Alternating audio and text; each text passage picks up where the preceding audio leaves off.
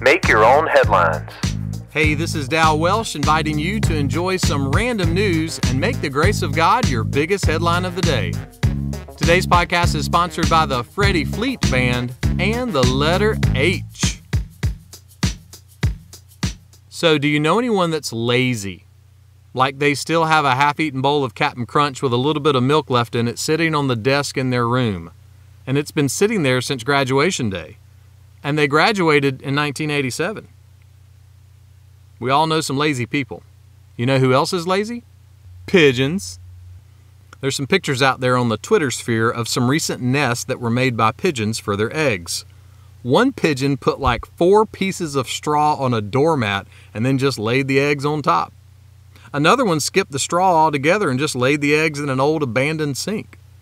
But hey, don't get mad at those lazy pigeons. They didn't do anything.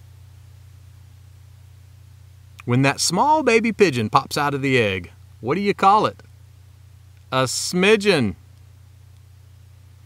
King Solomon was giving some advice to his kids and said this The sluggard says, There's a lion in the streets.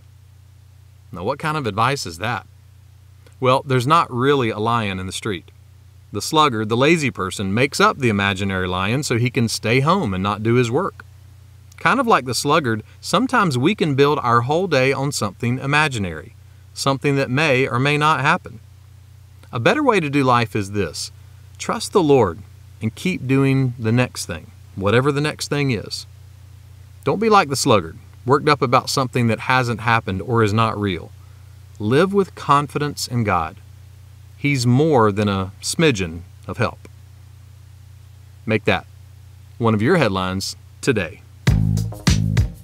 Make Your Own Headlines is a little smidgen of encouragement from Holland Avenue Baptist Church.